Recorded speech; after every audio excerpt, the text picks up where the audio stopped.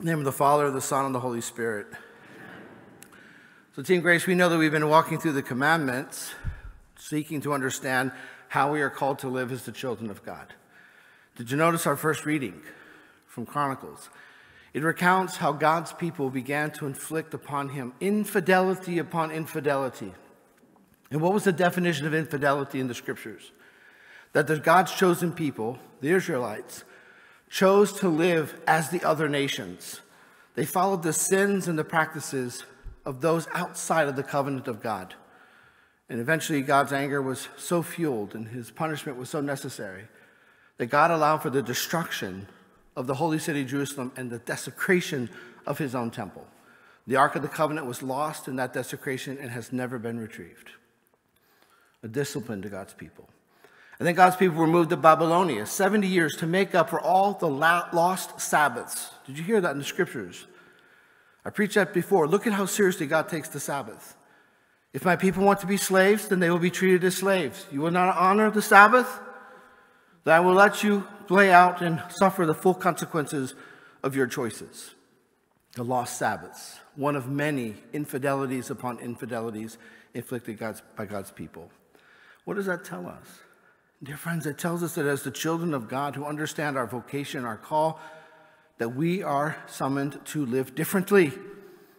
We should not be thinking or acting or behaving as the unbeliever. When we act as the other nations, as those outside of the covenant, then we inflict upon God infidelity upon infidelity. We provoke his punishment upon us, his discipline. But of course, we have the commandments to help us, to clearly understand how we are called to live, to be a light to our feet, to understand what is right and what is wrong. So we have these Ten Commandments. Now, we've been discussing how the Ten Commandments consist of two tablets.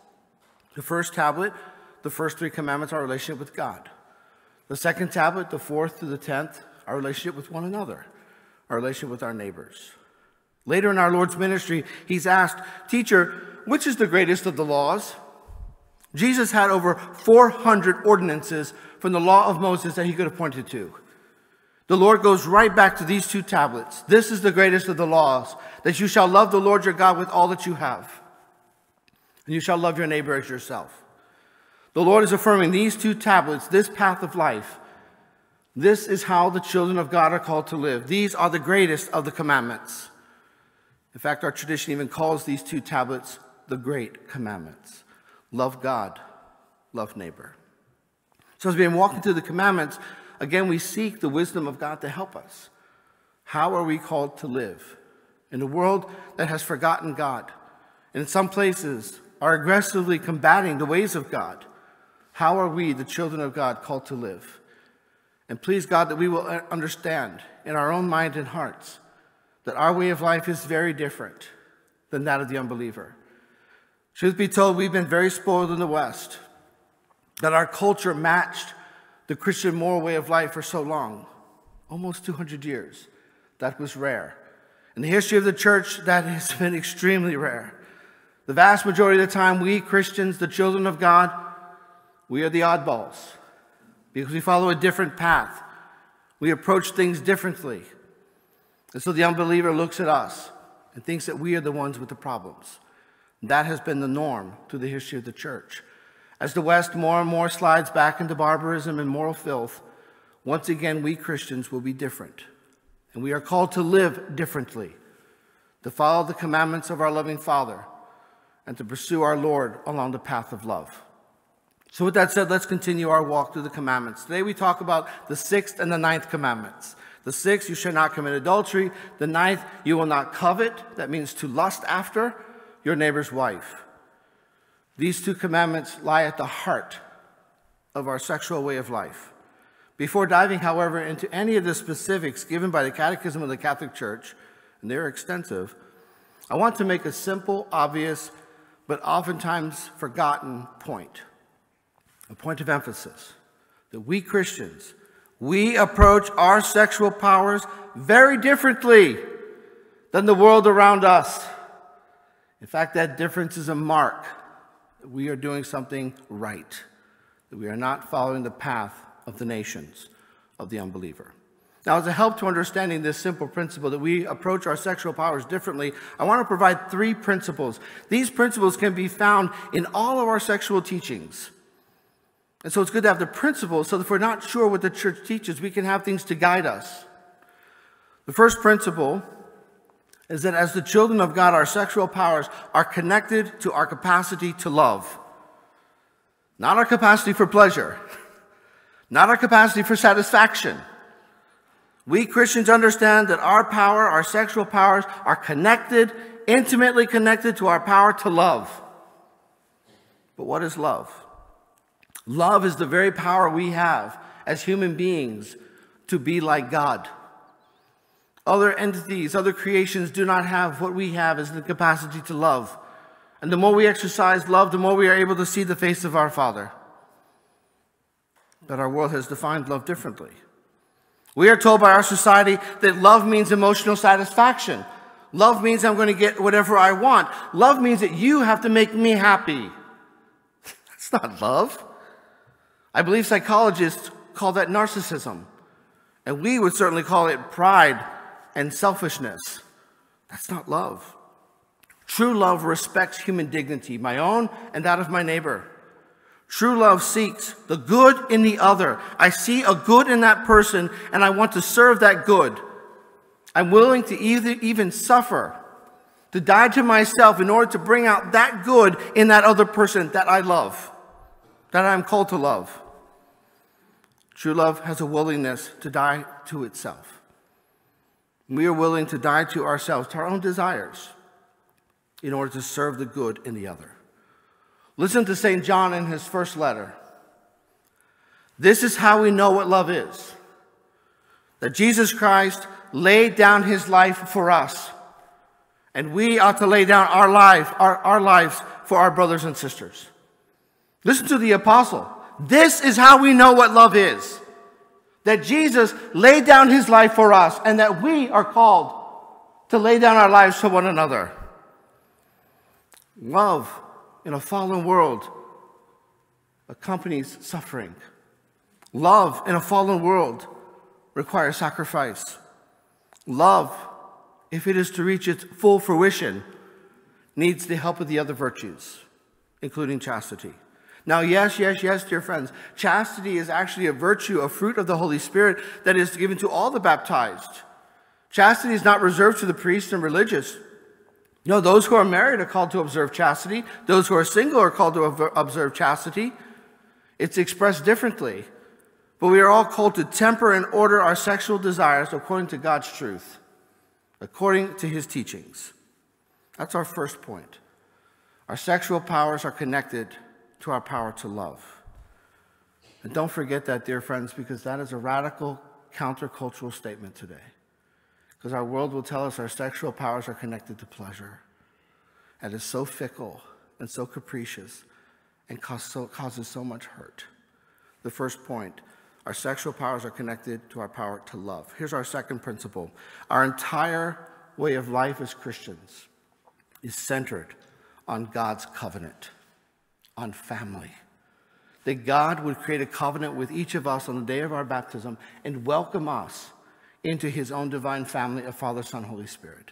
That our entire lives as Christians is seeking to live up to this uh, uh, unmerited call, this undeserved call to be a member of God's own family. And so, therefore, by extension, everything we do, our whole moral life, is about our union with God, about family. And by extension, that then flows into the entire way of the life of the church. Our entire moral life centers not simply around the divine family, but then by extension upon the human family. Defined clearly as one man and one woman for life, in mutual and loving service to one another, with a generosity for children, and the welcoming of extended members of the family. That's the family, and our entire moral life focuses on the family. Every moral teaching, every vocation in the church, the priesthood, the religious life, single for the Lord, widowhood, all the other vocations of the church are in service to the family and rely upon the family. That is the heart of our entire moral teaching because the family is the cell of society, it's the cell of the church. Incidentally, dear friends, that is why secularism and ideology attack the family. They seek to redefine it, to broaden it so extensively that it has no identity, and to allow it to become one more self created entity of people that we happen to enjoy being around. That's not the family. Family is much more than that. Family is grounded on a sacrament between one man and one woman. It is placed within a history and traditions, and it consists of people that we are called to love, even when we don't like them, right? That's family. Family is about love. Our entire life as Christians is about family. So, our first principle love and our sexual powers go together. Secondly, this is all about family. And our third principle the understanding of the sexual act itself. The sexual act has two dimensions the unitive, that husband and wife can mutually donate one another to themselves, to each other. Receive that gift that is unitive, the communion and union of husband and wife. And it is procreative, that they will welcome children.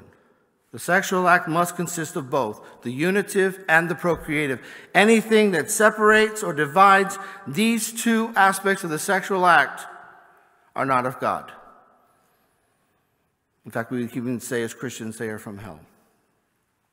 As Mother Drexel would teach us, one of our American saints, is very dear to my heart. She would summarize all this and tell us that our spirit is out of the Eucharist, namely a total gift of self. Because once you understand that love and the sexual powers go together, once you begin to understand that this is about family, once you begin to understand that the sexual act is unitive and procreative, we can then place the Eucharist in a whole broader context. That this sacrifice, this sacred meal, is a part of our union with God. Just as the Lord here in this sacrifice offers his body, so we are called to do the same. And so our sexual powers are understood, within our, the context of our entire moral life and our following of Jesus Christ. Our ordering of our passions, both in how we forgive, how we serve the poor, and how we control and exercise our sexual lives. All of this comes together in this Eucharistic spirituality to lay down our lives in service to God and neighbor. Listen to what St. Paul says. I appeal to you, therefore, brothers and sisters, by the mercies of God, to present your bodies as a living sacrifice, holy and acceptable to God, your spiritual worship. St. Paul exhorting the Christians of his day as well as us offer your bodies as a living sacrifice. Do not allow the desire for sexual pleasures or the inclinations of our fallen nature to manipulate this powerful gift of sexuality to order that and to offer our bodies, our desires as a sacrifice. Once we understand these three principles, now we're ready to dive into the specifics. So let's use the Catechism of the Catholic Church as our guide, and let's walk through a few issues that address and are involved with the sixth and ninth commandments. The Catechism begins with two interesting bedfellows, which sadly have become very popular in our culture today namely masturbation and pornography. Masturbation is a moral evil because it takes the sexual act that is meant to be shared with another in mutual and loving self donation and turns it into an isolated act of selfishness. It offends both human dignity and the sexual act. And yes, it is a grave sin. If it is not confessed, one should not receive Holy Communion because it offends the sexual act and the marital act so seriously that one must confess it in the sacrament in order to receive mercy. By extension, pornography, oftentimes very closely related to masturbation, perverts the intimate giving of spouses to each other by mocking it. It mocks the sexual act by turning it into a raw act of offensive self arousal. Pornography is directly from hell. As Christians, we do not participate in pornography. If that is in your home, get it out. If your spouse is looking at pornography, hold the line. There's no faster way to kill the spiritual, moral health of your family than do pornography. We do not do such things as Christians. Pornography turns a beloved child of God into a base object of mere pleasure. Would you do if someone took one of your children or grandchildren and used them in such fashion. These people that are viewed in this pornography are children of God. And to think that you can treat God's children in such a manner and there be no consequence, consequences shows the foolishness of sin. We do not engage in pornography. Pornography strips the person of their dignity, it objectifies them as if they are some animal, a person made in God's image. Some time ago, Pope St. John Paul II kind of shook people up because he said, pornography is wrong. Not because it exposes too much of the person. What? But because it exposes too little. Because pornography turns a person merely into one step above a piece of meat. But the person that's involved in that pornography, that person has a soul. That person can love and be loved. That person is a child of God, and pornography strips all that away. And pornography is a grave sin because of what it does to the human person, to their dignity. If one is viewing pornography, they should not approach the sacrament. If you are in pornography, you must repent. Do not approach and receive the body and blood of Jesus Christ with that on your soul. That must be seriously confessed. Some time ago, in different parish assignment, a man approached me and said, Father, I need help. He was a younger man. I said, What's going on? He says, I have a really bad pornography addiction. As he began to describe his life, he said, Wow, you really have a serious pornography addiction. He said, I need help. Started going to support group, got a Christian therapist, and so on. And began to really reform his life out of darkness into light. I asked him, I said, what, what, was, what was the moment of grace right, that woke you up? He said, Well, we had our second child, a little girl. He said, When I held my daughter in my hands, it's like, in my heart, I just knew that I'd never want anyone to do anything to her or to hurt her. And I realized when I was engaged in all that garbage, that those were somebody else's daughters. Because I was filled with such guilt that I knew I didn't want to be a part of this anymore. Thanks be to God for his conversion. I pray for the conversion of anyone who's stuck in that great slavery of pornography. Pornography is a grave offense. Civil authorities are called to prevent the production and distribution of pornographic materials, and our Catholic political leaders should be at the forefront of this effort to ban pornography from society. It hurts society, it hurts families, it hurts marriages, it hurts children. The Catechism goes on to describe prostitution, which oftentimes flows within the culture, the terrible dark culture of masturbation and pornography. Prostitution also does injury to the dignity of the person by reducing them to an instrument of sexual pleasure or into a mere mercantile object of personal satisfaction. The Catechism of the Catholic Church states clearly prostitution is a social scourge. Pornography and prostitution usually involve women, but also men, children, and adolescents.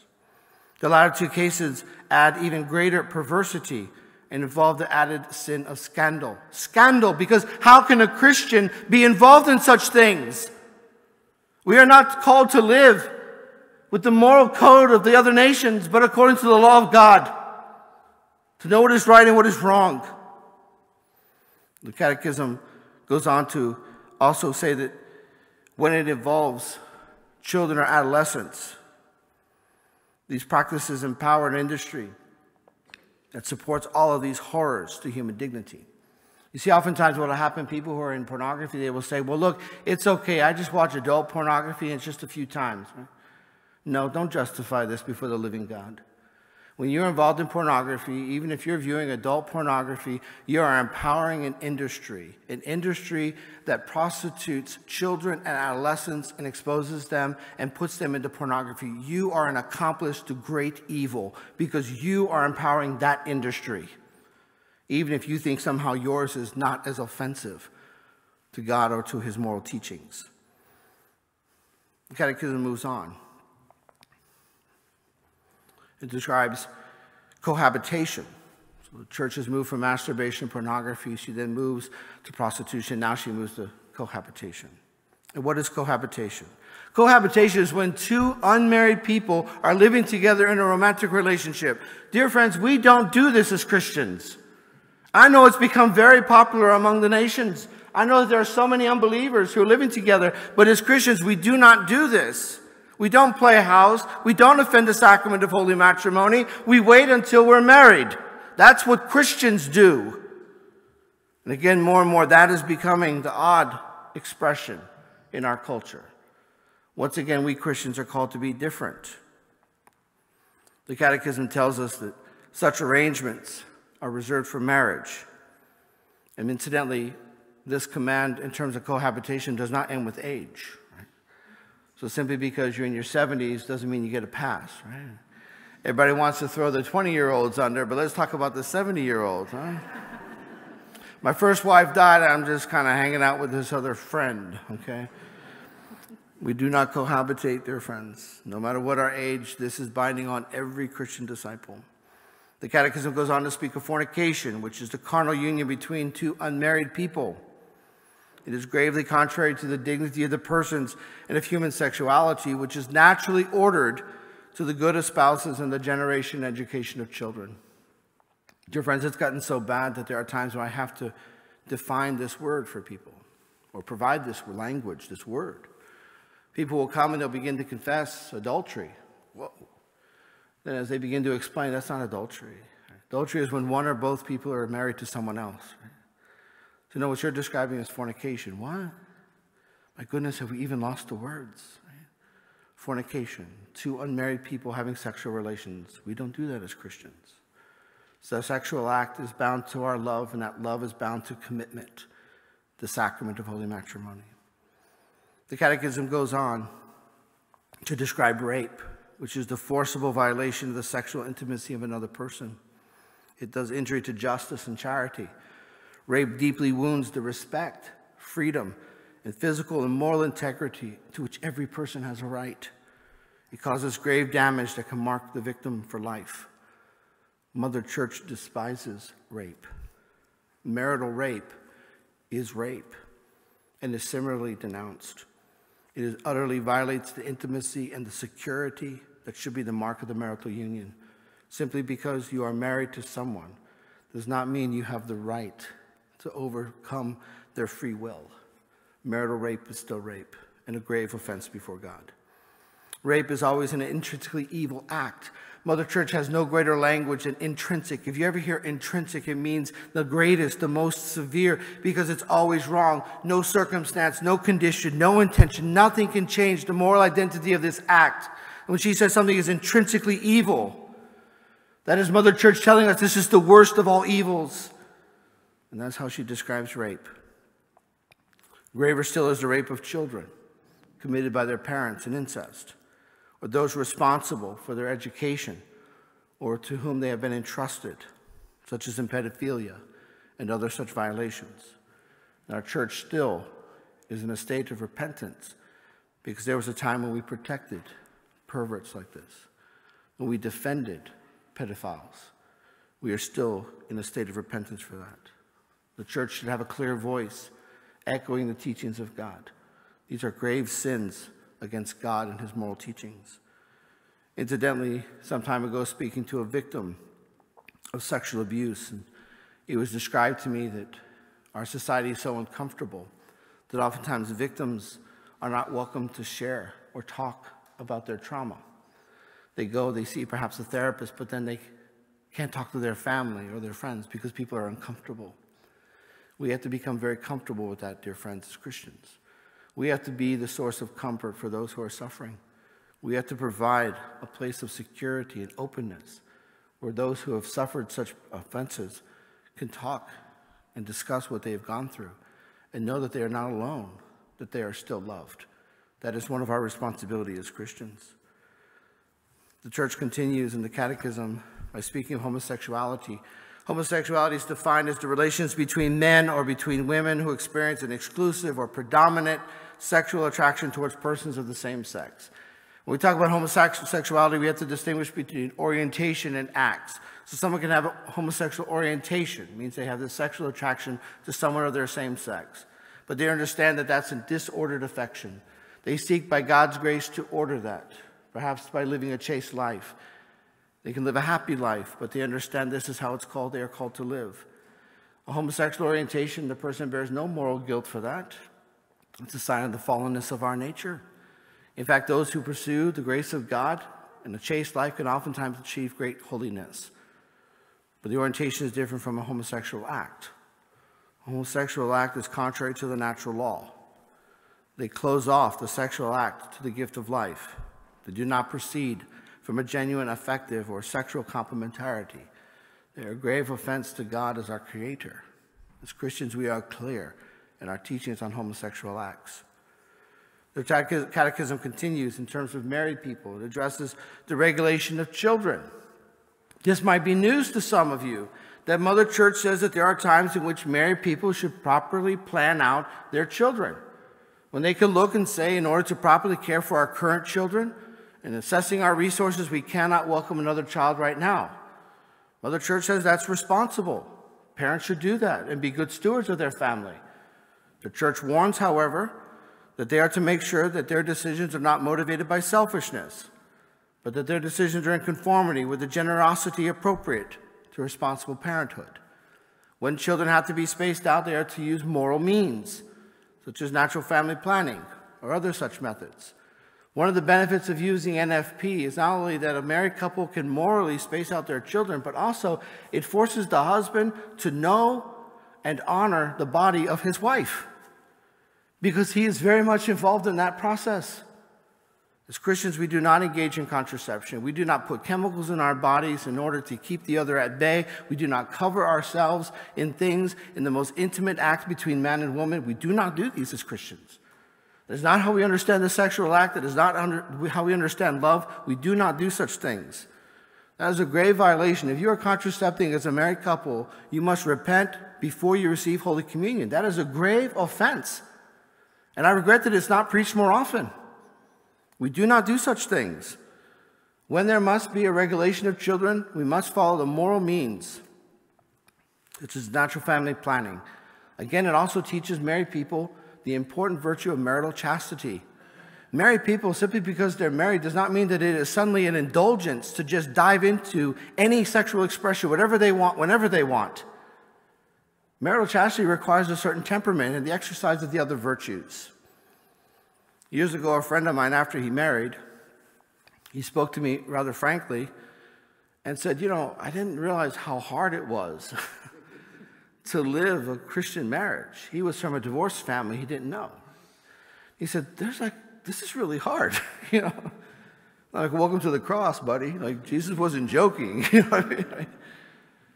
And he goes, you know, I, I didn't realize all the things that are involved in this. He says, you know, like our sexual lives. He's like, I didn't realize how little sex I was going to have, right? He says, if I knew that, I would have seriously rethought the priesthood, right? okay, right? Now he has some maturing, okay. But he gets it, right? Our lives are not our own. Our bodies are not our own.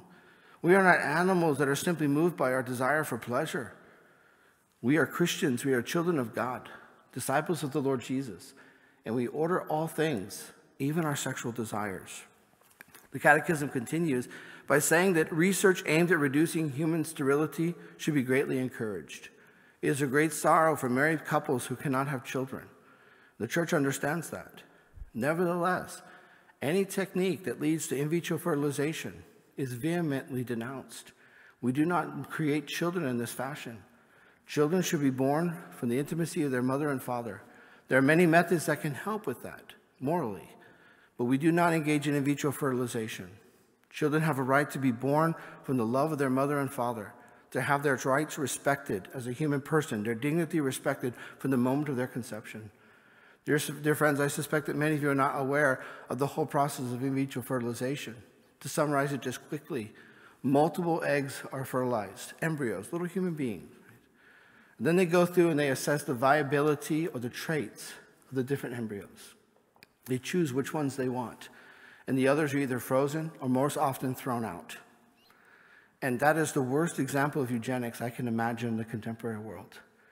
That we literally look at human beings, oh, this one's going to be a male, this one's going to be a female, oh, this one might have this problem, or oh, this one might have this color hair.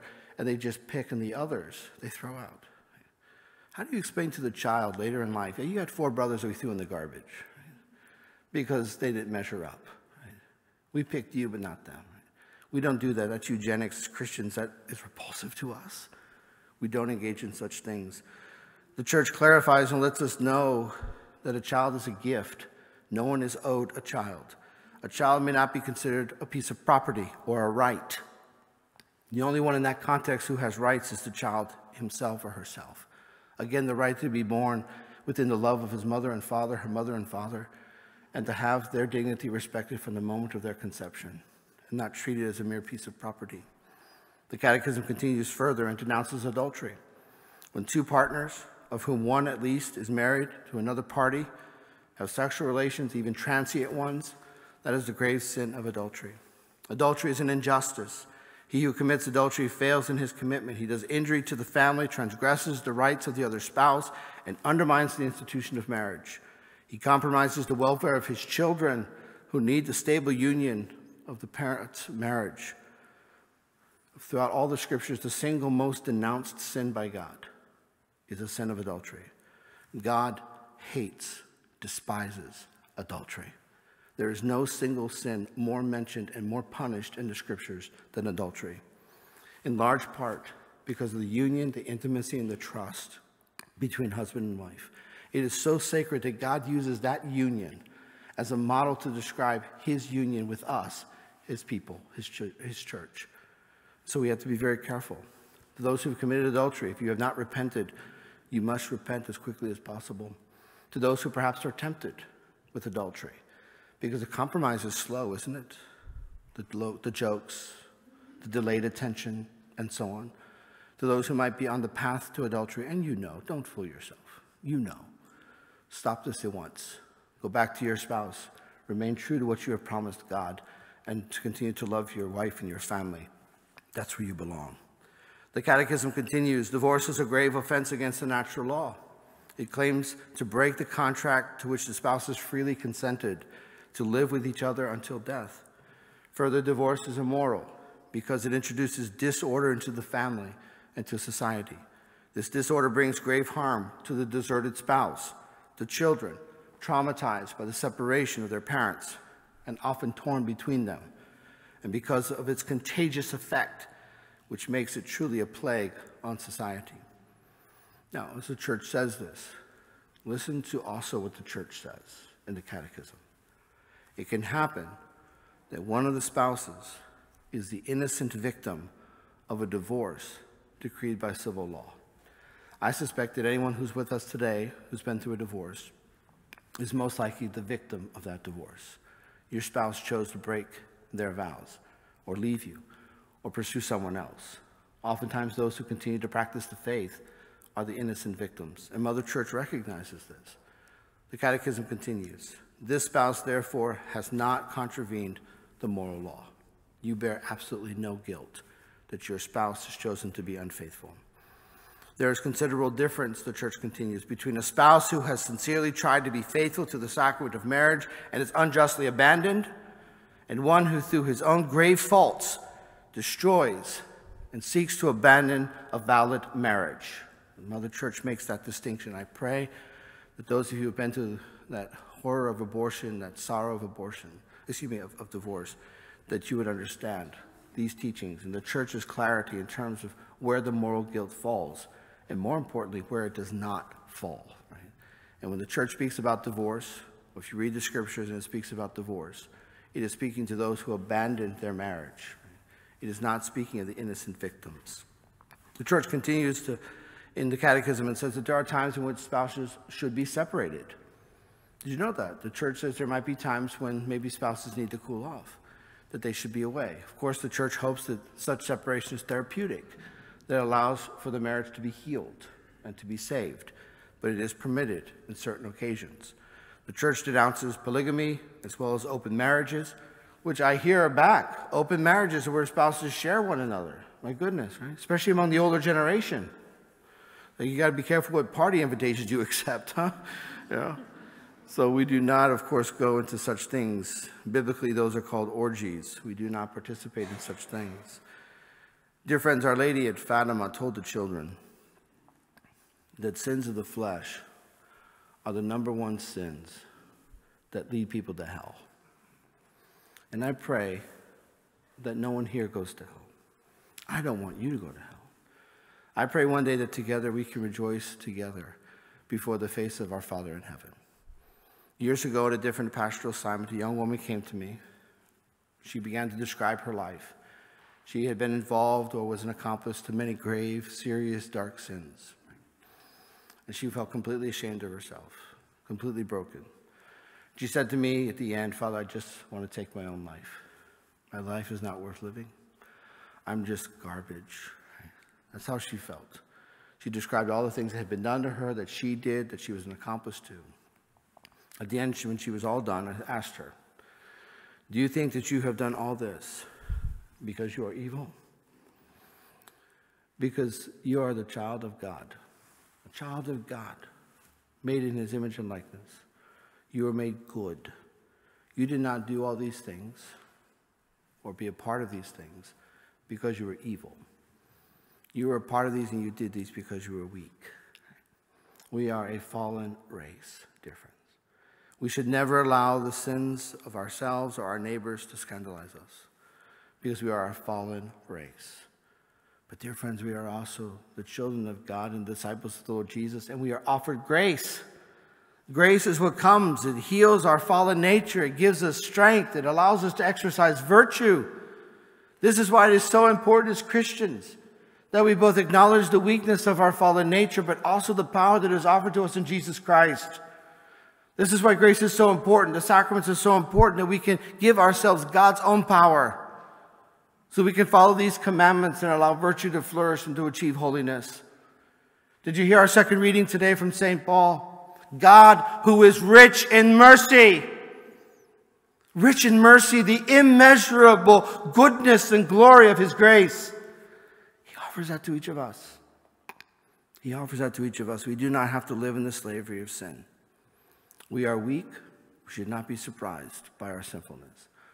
But we should also quickly avail ourselves of God's mercy and the help of His grace. Dear friends, I pray that this summary of the sixth and ninth commandment have been helpful to you as we review all of the commandments and seek to understand how we are called to live as the children of God, greatly loved by Him, always accompanied by Him. I pray that in your own discipleship, in the vocation that you seek to pursue as God's children, that you understand what we are called to do, how we are called to live, and in every way, in as best you can, that every day, each day, you give to God your five loaves and two fish.